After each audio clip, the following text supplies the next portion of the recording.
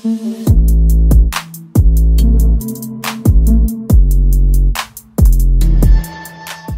mula terjadinya perebutan Freeport antara Belanda, Indonesia, dan Amerika Serikat adalah dengan ditemukannya dokumen Dozi oleh salah satu pengusaha kapitalis Belanda yang bernama Jan van Griesen. Dalam dokumen ini disebutkan bahwa di pegunungan Kartens di Papua, tepatnya di Gunung Grasberg dan Exberg, ditemukan kandungan tembaga, nikel, dan emas. Bahkan, Emas yang terkandung di dalam Gunung Grasberg berpotensi memiliki kandungan emas terbesar di dunia. Ini tentu saja adalah potensi bisnis yang sangat besar dan modal yang diperlukan tentu nggak sedikit. Karena itu, Grusen mengajak perusahaan tambang asal Amerika Serikat yang bernama Freeport Sulfur Company untuk berkongsi bersama. Saat itu, Freeport diwakili oleh direkturnya, Forbes K. Wilson. Ketika melacak potensi keuntungan galian emas dan tembaga di Papua, Freeport mengkalkulasi bahwa Papua bisa mengembalikan modal mereka hanya dalam waktu tiga tahun saja. Ini waktu yang sangat singkat untuk ukuran perusahaan tambang. Ini adalah bisnis tambang yang sangat besar. Tapi maksud mereka untuk menanamkan modal di Indonesia terhambat oleh kondisi politik Indonesia, di mana saat itu Presiden Soekarno mencanangkan berdikari alias berdiri di atas kaki sendiri. Kemudian beliau juga anti nekolim atau neokolonialisme dan imperialisme dan menggaungkan ideologi Nasakom alias nasionalisme, agama, dan komunisme. Saat itu Soekarno sangat anti modal asing. Perusahaan-perusahaan Belanda yang masih bercokol di Indonesia banyak yang dinasionalisasi oleh Soekarno dengan bantuan para buruh.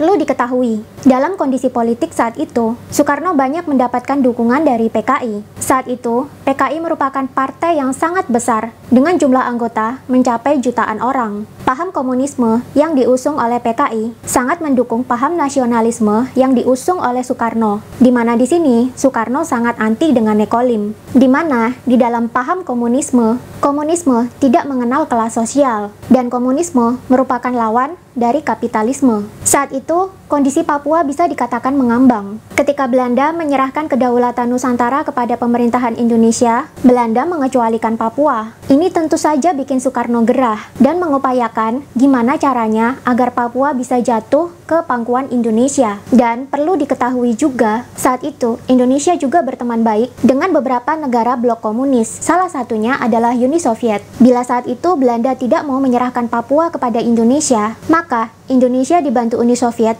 akan berperang melawan Belanda. Ini tentu saja akan merepotkan Amerika Serikat yang saat itu menjadi sekutunya Belanda. Komunisme saat itu adalah musuh besar dari kapitalisme yang harus dihancurkan. Makanya nggak heran, setelah Perang Dunia Kedua berakhir, masih ada perang-perang di negara-negara yang berhaluan komunis. Ini memang sudah agenda dari negara-negara kapitalis, terutama Amerika Serikat, untuk menghancurkan komunisme di mana pun, termasuk di Indonesia. Jika Indonesia berhaluan komunisme, kapitalisme akan susah masuk. Perusahaan asing akan sulit untuk beroperasi di Indonesia. Dan Soekarno adalah musuh dari bangsa-bangsa kapitalis, terutama elit-elit kapitalis dunia yang berKTP Amerika Serikat. Bahkan, menurut catatan Pak Harizal dan Ismantoro Dwi Yuwono dalam buku Freeport, fakta-fakta yang disembunyikan, juga disebutkan bahwa Badan Intelijen Amerika Serikat khusus untuk urusan luar negeri, yakni CIA, juga dibentuk dengan salah satu agendanya adalah untuk membasmi komunisme di seluruh dunia. Tapi saat itu, Soekarno justru menjalin hubungan baik dengan John F. Kennedy atau JFK, Presiden Amerika Serikat waktu itu. Walaupun komunisme harus dibasmi, John F. Kennedy tidak mau menggunakan peperangan dan kekerasan.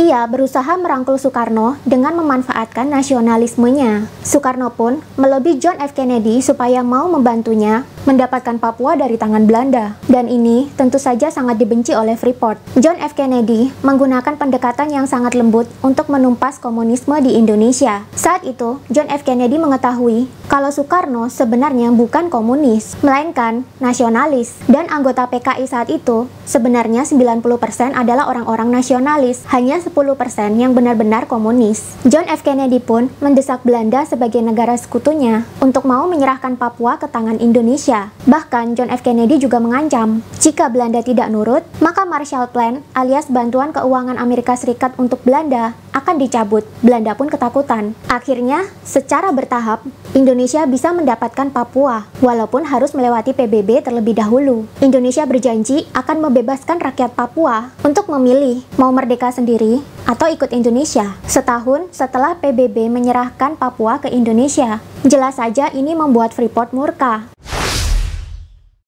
John F. Kennedy dan Soekarno pun kemudian bersahabat baik, dan John F. Kennedy juga memberikan bantuan keuangan kepada Indonesia sebesar 11 juta US dollar. Ini tentu saja membuat CIA menentang keputusan John F. Kennedy, karena CIA menganut politik perang dan kekerasan untuk memusnahkan komunisme. Belum sempat John F. Kennedy membayarkan bantuannya kepada Soekarno, John F. Kennedy pun dibunuh, dan kasus pembunuhannya sampai sekarang masih menjadi misteri. Pihak yang berusaha mengungkap kasus kematian John F. Kennedy juga meninggal secara misterius. Kematian John F. Kennedy otomatis membuat Soekarno terpukul. Ia buru-buru menasionalisasi sisa-sisa perusahaan Belanda yang masih ada, dibantu kalangan buruh. Buruh saat itu bahkan siap berperang, membantu Soekarno jika memang diperlukan. Setelah John F. Kennedy meninggal, kebijakan Amerika Serikat banyak yang berubah terhadap Indonesia. Amerika Serikat kembali menggunakan politik kekerasan untuk membasmi komunisme di seluruh dunia, termasuk membasmi PKI di Indonesia. Salah satu pejabat Freeport yang mendukung politik kekerasan anti-komunisme Amerika Serikat adalah Augustus Celong. Dia juga tercatat aktif di Presbyterian Hospital, di mana menurut Lisa Pease, seorang penulis buku sejarah kematian John F. Kennedy, mengatakan bahwa Presbyterian Hospital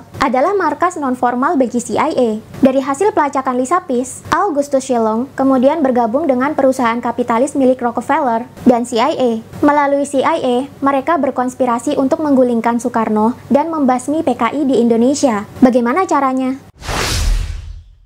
Masih dari hasil pelacakan Lisa Pease, Amerika Serikat kemudian membeli beberapa pejabat militer Indonesia. Pejabat militer belian ini kemudian mereka sebut sebagai Our Local Army Friends. Mereka terdiri dari tentara berpangkat jenderal ke bawah dan beberapa jenderal dengan deretan bintang di pundaknya. Selain bekerja sama dengan elit militer, CIA juga bekerja sama dengan beberapa elit pejabat politik di Indonesia. Tujuan besar mereka adalah menggulingkan Soekarno dan memusnahkan PKI agar perusahaan-perusahaan elit kapitalis dunia bisa bebas masuk ke Indonesia. Siapakah elit-elit pejabat yang berkonspirasi untuk melengsarkan Soekarno dan menumpas PKI itu? Berdasarkan ulasan dalam buku Freeport, fakta-fakta yang disembunyikan, Augustus Shillong ternyata menjalin hubungan dekat dengan Julius Tahia. Dari Julius Tahia inilah Augustus Shillong diperkenalkan kepada Ibnu Sutowo yang saat itu menjabat sebagai Menteri Pertambangan dan Perminyakan. Atas jasanya, Julius Tahia pun mendapatkan kehormatan dari Freeport dan salah satu perusahaan Rockefeller di Indonesia, PT Caltex. Julius Tahia juga diangkat sebagai pejabat tinggi di Freeport. Melalui Ibnu Sutowo, Soeharto, dan Julius Tahlia inilah agenda penghancuran PKI dan penggulingan Soekarno dijalankan. Dan biaya untuk proyek konspirasi penggulingan Soekarno ini dialirkan oleh CIA dan Freeport ke Julius Tahia dan Jenderal Soeharto. Sebuah kudeta militer pun dirancang. CIA bekerja sama dengan elit militer Indonesia yang pro neo-imperialisme dan dengan pejabat tinggi pemerintahan yang berseberangan dengan Soekarno. Pertama-tama, mereka merekrut dan melatih perwira-perwira di Ponegoro, yakni tentara-tentara yang belum memiliki bintang di bawah komando Soeharto. Tentara-tentara ini kemudian dilatih untuk membentuk pasukan Cakrabirawa. Pasukan inilah yang nantinya akan menculik para jenderal untuk dibunuh di lubang buaya. Peristiwa inilah yang disebut sebagai kudeta militer. Tapi, menurut sejarawan asing John Rosa yang meneliti peristiwa ini, kudeta ini memang dirancang supaya gagal. Atas terjadinya kudeta ini, PKI difitnah sebagai dalang di baliknya. Kudeta ini sekarang terkenal sebagai peristiwa G30 SPKI. Tak hanya difitnah sebagai dalang kudeta, PKI juga difitnah telah melakukan penyiksaan kepada para jenderal. Mulai dari matanya dicongkel, kulit diiris-iris pakai silet, disiksa pakai pukulan dan tendangan, dan dipotong kemaluannya. Padahal, menurut hasil otopsi dari Fakultas Kedokteran Universitas Indonesia, penyiksaan seperti itu tidak ditemukan di tubuh para jenderal. Setelah peristiwa G30 SPKI terjadi, penumpasan terhadap seluruh anggota dan simpatisan PKI pun terjadi di bawah Komando Soeharto. Menurut investigasi sejarawan dan penulis lain, yakni Max Lane, tercatat bahwa setidaknya ada 500 ribu hingga 2 juta orang yang teridentifikasi sebagai anggota dan simpatisan PKI dibunuh pada saat itu. Kebanyakan mereka dibunuh dengan cara yang mengerikan. Ada yang dipenggal kepalanya, ada yang perutnya diiris kemudian isinya dikeluarkan, ada yang diseret menggunakan truk di atas aspal. Mayatnya juga banyak yang dibuang begitu saja ke sungai. Ini adalah bagian dari kampanye teror. Bagi yang tertangkap tapi tidak dibunuh, ratusan ribu orang dipenjara dalam rumah-rumah penyekap. Sedangkan bagi yang terhindar dari hukuman, puluhan ribu orang dipecat dari pekerjaannya sebagai polisi, tentara, dan pegawai negeri sipil. Akibat dari kudeta gagal ini pula lah, Soeharto bisa mendapatkan kedudukannya sebagai presiden menggantikan Presiden Soekarno. Begitu Soeharto menjabat sebagai presiden, tak menunggu lama, Pepera kemudian diadakan di Papua. Pepera ini adalah program penentuan pendapat rakyat yang memang harus dilaksanakan oleh Indonesia sesuai janji mereka di depan PBB dulu saat penyerahan Papua ke tangan Indonesia. Dalam program ini, Papua harus menentukan mau merdeka sendiri atau mau ikut Indonesia. Singkat cerita, Pepra pun dilaksanakan, tapi tentunya atas intimidasi Indonesia di bawah rezim Soeharto. Papua bagaimanapun juga harus ikut Indonesia. Bagi yang tidak mau ikut, akan dianggap sebagai gerakan separatisme, dan mereka akan ditumpas oleh militer. MR Siregar mencatat, setidaknya ada 200 ribu orang Papua yang disembelih oleh militer Indonesia untuk mempertahankan hasil dari pepera ini. Hasil dari pepera sudah jelas, Papua akhirnya ikut dengan Indonesia. Dan semenjak saat itu,